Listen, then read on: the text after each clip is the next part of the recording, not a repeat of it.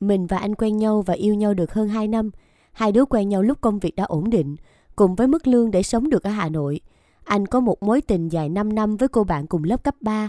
Anh đẹp trai, cao 1m83, thể thao giỏi và giao tiếp các thứ rất tốt. Về khoảng chiều người yêu thì mình chưa yêu ai được chiều chuộng và nhẹ nhàng như vậy. Mình và gia đình, bạn bè đã nghĩ mình rất may mắn khi quen và yêu anh. Trong suốt 2 năm yêu nhau, hầu như những lần cãi nhau lớn đều là nguyên nhân từ người yêu cũ. Từ việc người yêu cũ của anh nhắn tin cho mình, anh nhắn tin liên lạc với người yêu cũ, anh giúp đỡ chị ấy và gia đình chị ấy. Anh còn vào tận Sài Gòn để gặp chị ấy. Chị ấy lại lặn lội ra Hà Nội đến tận cơ quan tìm anh. Người yêu mình giữ tất cả những thứ liên quan đến hai người họ trong chiếc hộp để ở phòng. Với tất cả những hành động đó, mình lại bỏ qua hết. Mình tin sự chân thành của mình sẽ làm anh quên đi chị ấy. Bọn mình cũng sắp tới hôn nhân, cũng đã đính hôn với nhau. Mình háo hức chờ đến ngày về chung một nhà với anh. Cho đến hôm nay, mọi thứ vụn vỡ khi tình cờ mình mượn điện thoại anh, gọi cho đồng nghiệp vì quên máy. Tất cả ảnh trong điện thoại, chỉ có duy nhất hai tấm ảnh cưới của hai đứa, vài tấm ảnh công việc, còn tất cả là ảnh chị ấy từ hồi họ còn cấp 3. Mình đọc tin nhắn của anh với chị ấy, đại ý rằng vợ sắp cưới của anh là người hiểu và yêu anh. Cô ấy có thể đồng hành cùng anh trong cuộc sống lẫn công việc. Còn em là thanh xuân của anh. Em luôn xinh đẹp nhất và đặc biệt trong mắt anh. Hơn thế nữa, họ ôn lại kỷ niệm và hẹn gặp nhau ở Sài Gòn vào tháng 12. Mình không biết hai năm qua mình đã nỗ lực vì điều gì nữa. Hóa ra tất cả những cố gắng đều dư thừa. Vì đơn giản người trong tim họ không là mình, mãi mãi không là mình. Anh chưa từng quên chị ấy, còn mình thì yêu anh đến nỗi lừa dối tất cả sự thật phơi bày trước mắt, từ chối những mối quan hệ khác chỉ để nhận lại rất nhiều sự giả dối. Anh không chia tay mình, nhưng cũng không ngừng nhớ về người yêu cũ. Điều mà hai người họ làm cho cả bốn người đều đau. Mình liền nói lời hủy hôn với anh, thì anh chỉ nói rằng em còn trẻ, xinh đẹp và năng động. Em là cô gái rất tốt, sẽ có rất nhiều người quan tâm và chăm sóc tốt cho em. Nhưng cô ấy chỉ có mỗi anh. Cô ấy sống khép mình và rất yếu đuối. Anh đã cố, nhưng không thể bỏ mặt cô ấy được. Đến lúc mình nói hủy hôn, anh vẫn không một câu níu kéo. Chị ấy yếu đuối và không tự lập được. Anh bên cạnh chị ấy. Còn mình đã tự vượt qua sự lừa dối của anh thời gian qua như thế nào? Sẽ đối mặt với chuyện hủy hôn như thế nào? Nếu không phải có khoảng thời gian dịch mà đám cưới hoãn, thì có lẽ mình sẽ ở bên cạnh một người mà mãi mãi trong tim họ không hề có mình. Mình thật sự mong mọi người khi bước vào mối quan hệ yêu đương nên chân thành, đừng lừa dối cảm xúc, đừng vì quên ai mà yêu ai, đừng lấy ai chỉ vì tốt, đừng để chuyện quá khứ làm đau lòng người đến sau. Nếu trong tim có kẻ khác thì đừng để thêm một người mới vào, sống ra người tí đi, đừng tỏ ra đạo đức giả, tỏ ra cao thượng nhưng thực ra lại tệ bạc. Sống đừng có ích kỷ như vậy chứ. Hà Nội một ngày mưa tầm tã, mình quyết định buông bỏ anh.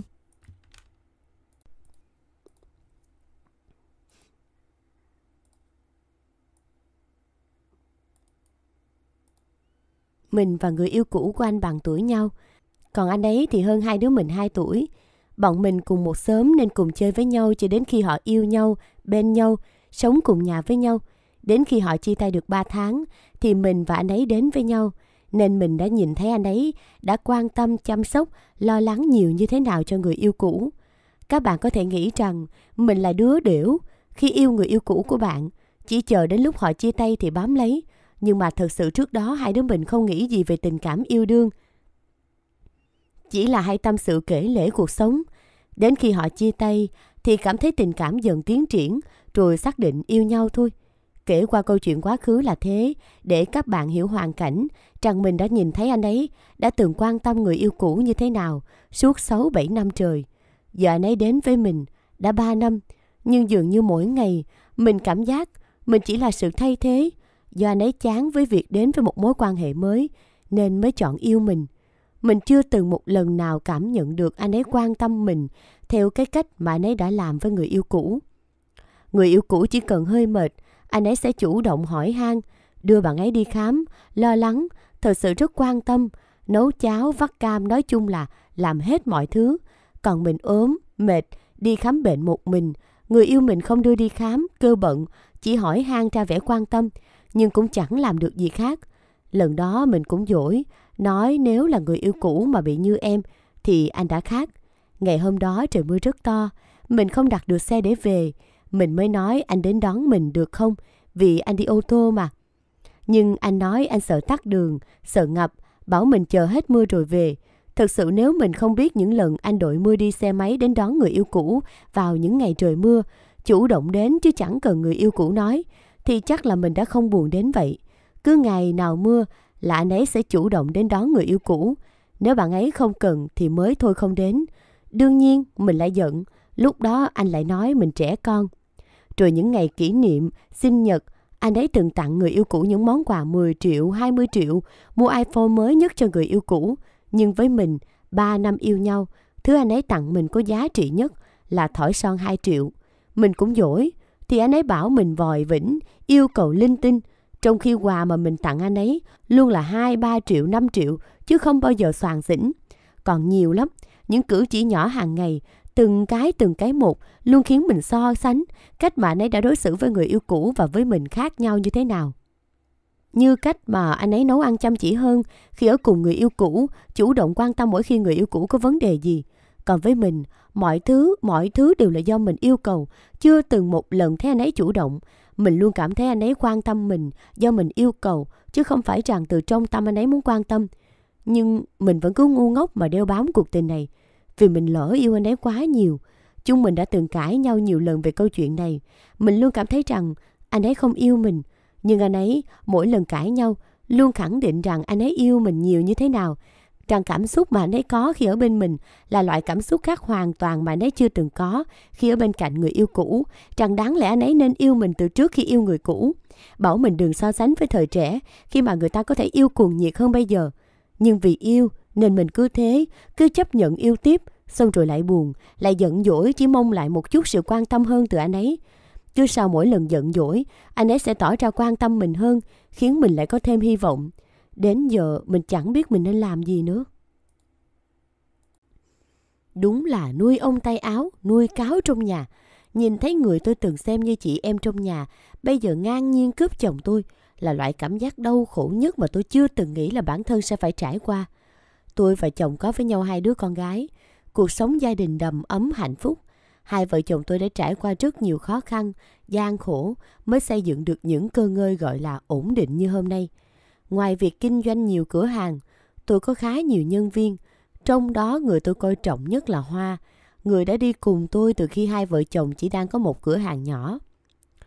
Tôi coi Hoa như người nhà, gia đình hai chị em cũng đều rất quý nhau. Em luôn tâm sự với tôi và luôn cảm ơn tôi khi tôi đã trao cho em những cơ hội để em có được như ngày hôm nay. Nghe Hoa nói vậy tôi càng thấy em là một người tình cảm và chân thành. Tất cả đều khiến tôi thỏa mãn. Tôi có gia đình hạnh phúc, kinh doanh ngày càng phát triển, có những nhân viên chăm chỉ, tôi không còn thấy muộn phiền gì nữa. Nghĩ sẽ tận hưởng cuộc sống dần dần sau bao năm lao đầu vào công việc, thì chuyện không hay ập đến. Tôi và chồng có cãi vã về chuyện anh bán là một cửa hàng để trả nợ cho gia đình bên nội. Không phải là tôi không cho phép, nhưng vẫn có cách khác vì cửa hàng này đều là tâm huyết của chồng không thể nói bán là bán được. Nhưng chồng tôi vẫn kiên quyết đòi cho bằng được, khiến cho cả hai đều không hài lòng, cãi vã rất lớn đến nỗi đòi ly hôn. Dù không phải là lần đầu cãi nhau, nhưng là lần đầu cả hai phải nói đến việc ly hôn. Bản thân tôi đưa ra yêu cầu là hãy để cả hai bình tĩnh, mấy tháng sau hãy quay lại nói chuyện với nhau. Nếu không có hướng giải quyết thì đi đến cuối cùng. Tôi nghĩ anh sẽ vì con, vì vợ mà hiểu suy nghĩ lại. Hai vợ chồng sẽ tìm ra cách giải quyết và quay về bên nhau. Nhưng có ai ngờ được rằng mấy tháng sau anh quay về với quyết tâm ly hôn. Không chỉ có vậy, trong mấy tháng này anh đã ăn ngủ với Hoa. Cả hai đã phát sinh quan hệ không đúng đắn. Trái tim tôi đau đớn, là người phụ nữ độc lập, có lòng tự trọng cao. Tôi không muốn để bản thân phải chịu đựng như vậy. Tôi kiên quyết ly hôn, đòi quyền nuôi hai đứa con gái. Không có gì đau đớn hơn là thấy chồng mình và nhân viên mình từng coi như người trong nhà với mình, gian díu với nhau. Người tôi muốn gặp để hỏi rõ là Hoa, nhưng được đáp lại là hả hê. Hoa bảo làm nhân viên mãi thì không thể giàu được, chỉ có làm bà chủ thôi. May mắn là hai vợ chồng xích mích, nên Hoa có cơ hội. Trách tôi không biết chiều chồng. Những lời nói như cắm sâu vào trái tim tôi. Tôi càng quyết tâm hơn với việc tự nuôi hai đứa con của mình. Hai đứa con ở nhà là động lực tôi phải mạnh mẽ đối mặt với chuyện này. Cố gắng thành người phụ nữ giỏi giang, không cần phải dựa dẫm vào người đàn ông này. Tôi và anh quyết định ra tòa ly hôn. hai con gái để tôi nuôi. Tôi cũng không đòi chu cấp gì từ chồng cũ hết. Muốn từ chối hết mọi thứ từ người đàn ông dơ dái, bội bạc ấy. Dù đã trải qua mấy năm, hai con gái tôi tự tay nuôi lớn, ngày càng ngoan ngoãn, khỏe mạnh. Còn chồng cũ từ khi ly hôn, chưa bao giờ về thăm con. Hai người kia còn có với nhau hai đứa con trai. Bảo không hận là nói dối. Nhưng tôi bây giờ cũng không còn đặt nặng họ trong lòng nữa. Thay vào đó, tự trao dồi nhiều thứ tốt đẹp, nâng cao bản thân hơn. Là con gái phụ nữ khi gặp chuyện buồn, hãy tô thêm son và tiếp tục chiến đấu. Đừng vì một số người không xứng đáng mà hạ thấp giá trị của mình. Mình năm nay 21 tuổi, kết hôn được 8 tháng và đã chia tay. Mình và anh kết hôn là do mai mối, người nhà mình muốn mình lấy anh. Vì không để gia đình mình buồn nên mình chia tay người yêu để đến với anh. Có lẽ sẽ có người nói tại sao hạnh phúc của mình mà sao không tự quyết định mà để theo sự sắp xếp của người khác. Nhưng làm cha mẹ không ai muốn con mình không hạnh phúc cả. Với lại mình cũng không muốn cha mẹ mình buồn. Mình cũng nghĩ rằng thời gian sẽ làm mình yêu anh ấy. Thế rồi đám cưới cũng diễn ra, hai đứa mình lấy nhau về, cuộc sống cũng được gọi là tạm ổn. Đối với cha mẹ chồng thì mình cũng xem như cha mẹ ruột. Nhưng mình đã sai mọi người ạ. Dù mình có đối tốt như thế nào với nhà chồng thì con dâu làm sao có thể như con ruột được. Sáng mình phải thức dậy từ 4 giờ để làm đồ ăn sáng cho gia đình. Từ khi lấy mình về, công việc nhà chồng đều do một tay mình làm, còn chồng mình thì ăn xong là lại nằm dài ra ghế để chơi game. Anh có thể nằm cả ngày để chơi game. Đối với anh, game và bạn bè của anh là quan trọng nhất, còn vợ anh thì anh không quan tâm. Mình thì phải quần quật làm việc từ sáng đến chiều, dù cho có lúc mình buồn lắm, cũng nuốt nước mắt cho qua. Rồi đến một ngày mình đổ bệnh nặng, cả gia đình chồng cho rằng mình giả bệnh. Giấy khám sức khỏe là do bác sĩ đưa cho chồng mình có thể làm giả làm sao được. Nhưng nghe những lời mắng chửi của bố mẹ chồng mà chồng mình cứ im lặng không nói tiếng gì. Có những lúc mình nằm dài mệt lả ra, mình khát khô cả cổ, nhưng nhờ chồng lấy hộ cốc nước thì anh chửi mình làm phiền anh đang chơi game, rồi mình phải tự lết thân đi lấy nước để uống. Đã có những lúc mình tưởng như mình không qua khỏi nữa, mình buồn tủi vô cùng luôn mọi người ạ. Mình khóc cả đêm mà không tài nào ngủ được. Một hôm anh nghe lời gia đình, anh bỏ mình đi. Có lẽ là do mình cứ ốm đau Ngày không làm việc được nên là họ không cần mình nữa. Rồi cha mẹ mình đưa mình về kiếm tiền thuốc thang chạy chữa. Thế rồi người yêu cũ của mình biết tin cũng đến quan tâm, chăm sóc, động viên mình. Bệnh tình của mình cứ thế mà có dấu hiệu tốt dần lên. Sau tất cả, cậu ấy không hận ghét mình mà đã bỏ cậu ấy đi lấy chồng mà còn ngỏ ý muốn quay lại với mình. Mình từng nghĩ liệu mình có xứng đáng với cậu ấy nữa không? Còn gia đình chồng, khi nghe tin mình hết bệnh liền gọi mình về. Họ nói nếu muốn chồng mình quay về thì phải cắt đứt với mẹ ruột mình, không được ở bên mẹ mình nữa. Tại sao lúc ốm đau bệnh tật, họ không hề hỏi thăm mình dù chỉ một lần. Đến giờ khi mình mới chỉ khá hơn một chút, họ lại nói như cho mình cơ hội để quay về vậy. Không dừng lại ở đó mà họ còn mắng chửi mình. Đặt điều nói rằng mình hỗn láo. Mắng chửi cha mẹ chồng trong khi mình cơm bưng nước rót, hầu hạ gia đình, họ không khác gì một người hầu. Giờ đây, gia đình chồng mình đang muốn mình sau khi khỏi bệnh phải quay về tiếp tục làm con dâu hầu hạ cho bọn họ. Mình không muốn quay lại nơi địa ngục trần gian đó nữa. Mình phải làm thế nào mới thoát khỏi gia đình đó đây? Mong mọi người hãy cứu mình với. Mong ai đó có thể giúp mình thoát khỏi gia đình chồng. Mình xin cắn rơm, cắn cỏ, chịu ơn người đó suốt đời.